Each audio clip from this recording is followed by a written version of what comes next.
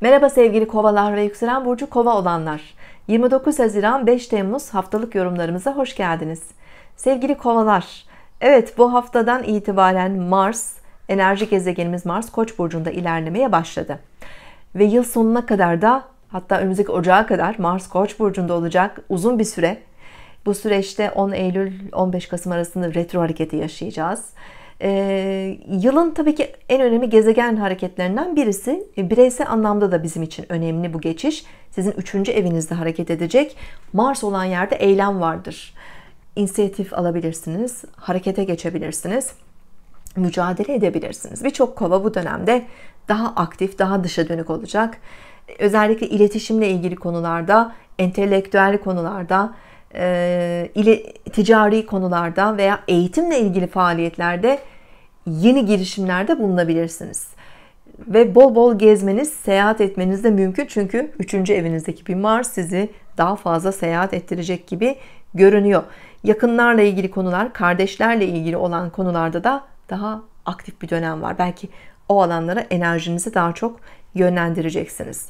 Evet bu hafta Venüs artık ileri harekette ikizler burcunda sizin için de güzel bir pozisyonda 7 Ağustos'a kadar Venüs'ten desteğiniz var.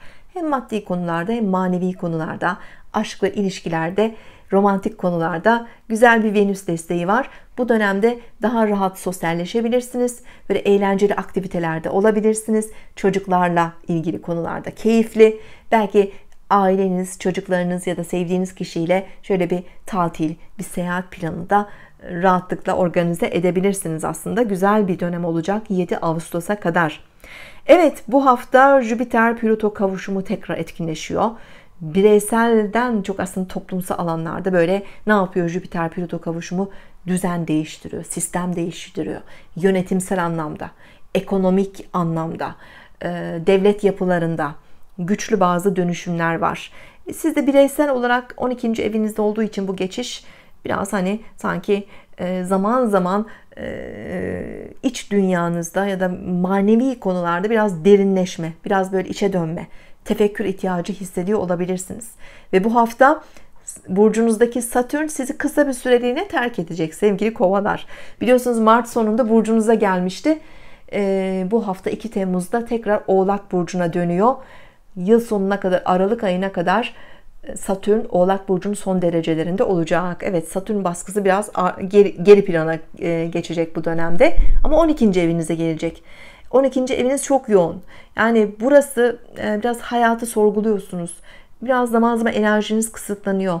Biraz böyle iç, münzevi bir süreç aslında. Yani bu dönem Satürn'ün de tekrar Oğlak'a geçişi şöyle bir dur, bekle, bir şeyleri kontrol et hazırlıklarını tekrar gözden geçir gibi bir etki verecek aslında.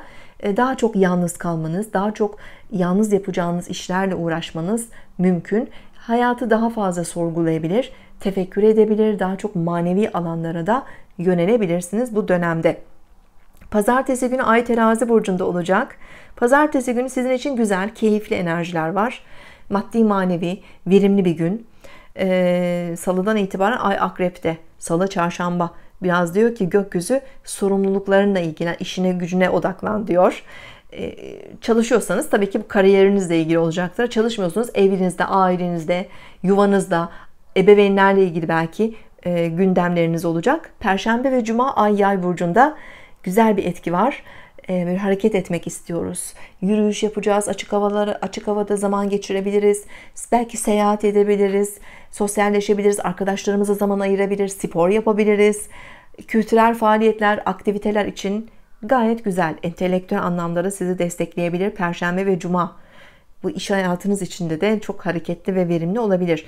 Ve hafta sonu Ay Oğlak Burcu'nda 5 Temmuz Pazar sabahı saat 7.44'te 13 derece Oğlak Burcu'nda Dolunay'la beraber ay tutulması yaşayacağız. Son iki yıldır zaten alışkınız bu yengeç oğlak tutulmaları 6 ayda bir oluyor ama bu tutulma son tutulma. Önümüzdeki 9 yıl yengeç ve oğlak burcunda tutulma yaşamayacağız. Yani olup biten bir şeyler artık bir sonuç veriyor. Bir tamamlanıyor. Yani bu iş hayatınız, mesleki konularla ilgili olabilir, genel sağlığınızla ilgili olabilir. Hayatınızın genel düzeni, alışkanlıklarınız, beslenmeniz, diyetiniz, Tüm bunlarda şöyle bir tamamlanma var. Belki kararsız kaldınız. Bir buçuk iki yıldır uğraşıyorsunuz.